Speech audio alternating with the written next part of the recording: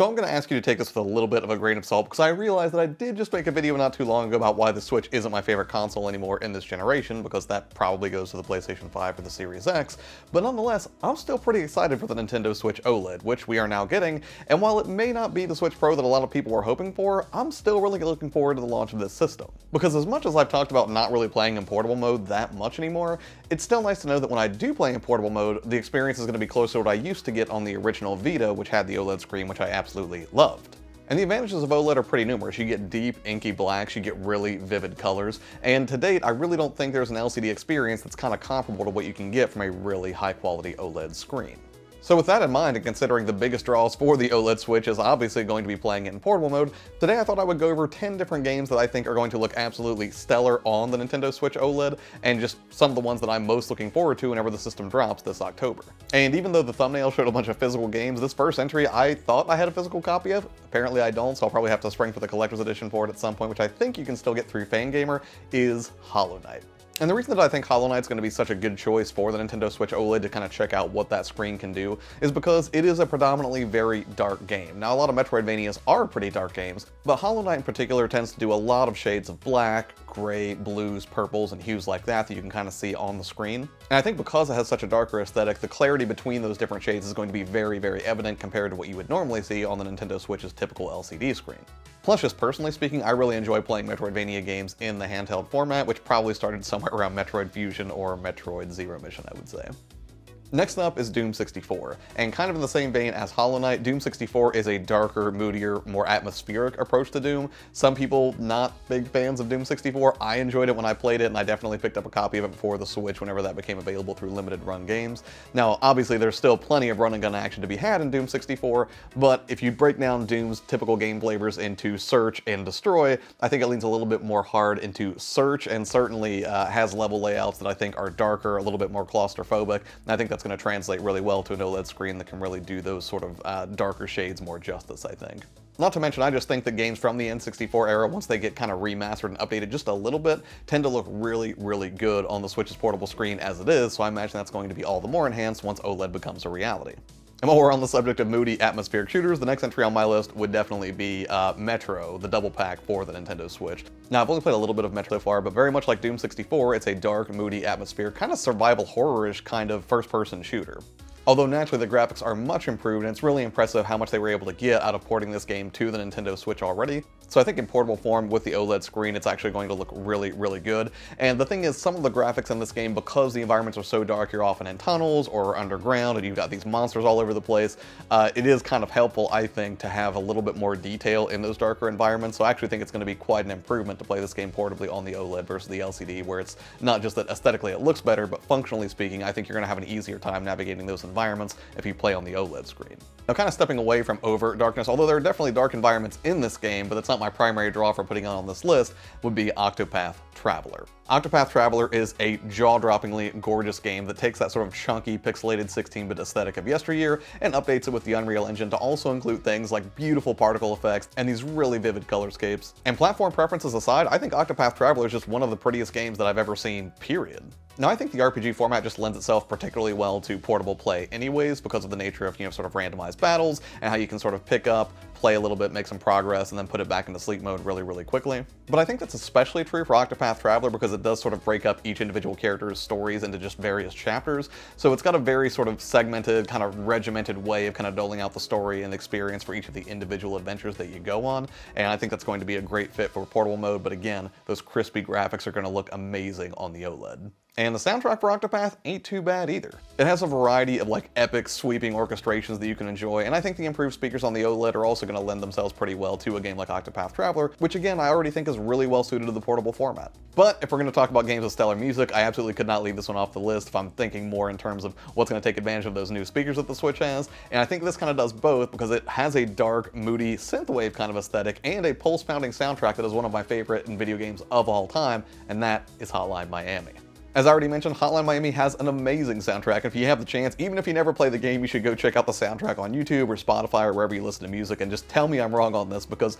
there are so many just incredible tracks to listen to and it just seems like every song that they chose for this game is an absolute banger. But then also, like Octopath, I think Hotline Miami is really well suited to portable play sessions because the game is so incredibly fast and fluid. You sort of have this top-down view where you're navigating Jacket around a variety of interior, super colorful environments, and the thing is, when you die in this game, you immediately jump right back into the action, and I think that makes it ideal for the portable format to begin with. But then again, the fact that it does have this really just vivid synthwave aesthetic and this incredibly kind of dreamy sort of uh, soundtrack to go along with it, these things combined make me exceptionally pumped to check this out on the OLED screen.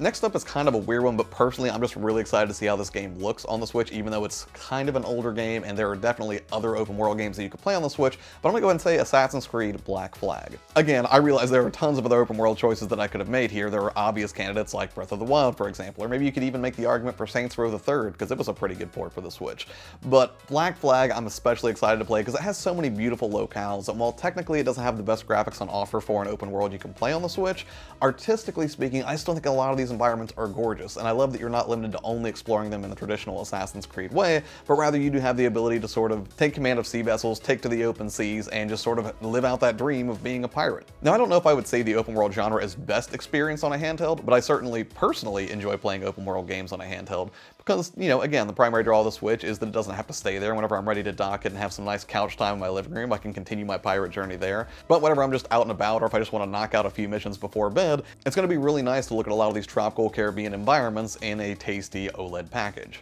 Next up, shifting back to that 16-bit aesthetic a little bit, is a game that I played and enjoyed when it came out a few years ago, although I did have some issues with some of the game mechanics, although I think they have been patched and updated to be a little bit uh, more approachable, so you don't kind of get stuck, and that is The Mummy Demastered.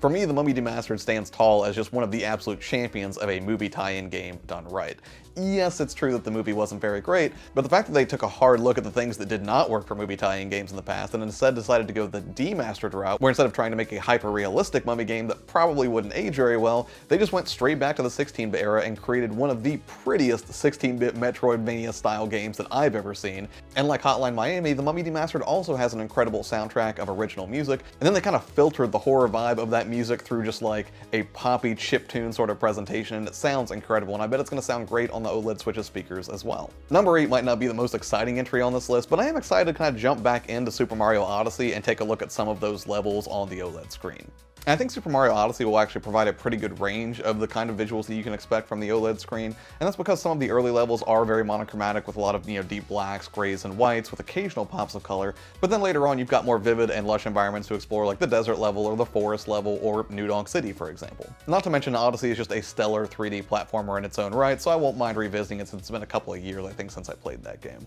And number 9 is Ori and the Blind Forest. Now I do have Ori and the Blind Forest and Ori and the Will of the Wisps, but I've only spent like one or two hours with the first game, so I think this is going to be a really good way to experience it because again, it is a Metroidvania style game, but easily one of the most lush 2D games I think I've ever laid eyes on. So the fact that I haven't spent much time with this game to begin with, despite the fact that I do have the very nice collector's edition of it from iam8bit, made this a prime candidate for me personally, but again, sort of like Hollow Knight or Octopath Traveler like I mentioned before, it also has a ton of beautiful colors that I think are going to look really just tasty good on that OLED screen. And number 10, unsurprisingly, except for the fact that it didn't even occur to me until somebody pointed it out when I sent out a tweet kind of asking you guys what you thought were some of the best games that would be playable on the OLED Switch, is of course Metroid Dread. So I spent the past few weeks finally beating Samus Returns on the 2DS, and I'm currently working my way through Super Metroid on the Switch, which means that by the time Dread comes out, I will have beaten all of the 2D Metroids in handheld mode, so that seems like a natural fit for a system that's going to shine the brightest in handheld form. And honestly, Metroid games really provide a great mix of both dark, moody visuals because it's normally a very claustrophobic feel as you're exploring underground caves or space stations,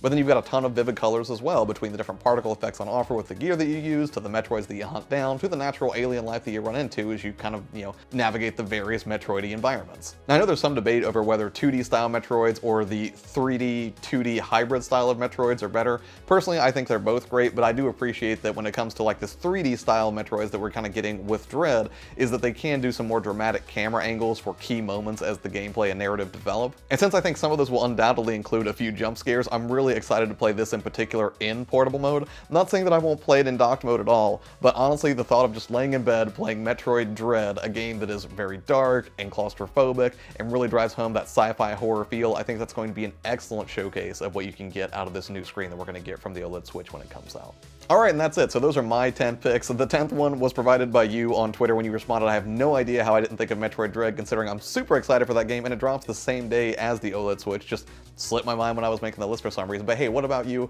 Are there any games that you would recommend that you think will look particularly tasty on the Switch's new OLED screen when it comes out this October? Let me know in the comments below. Thank you so much for your time. Take care, and I'll see you next time.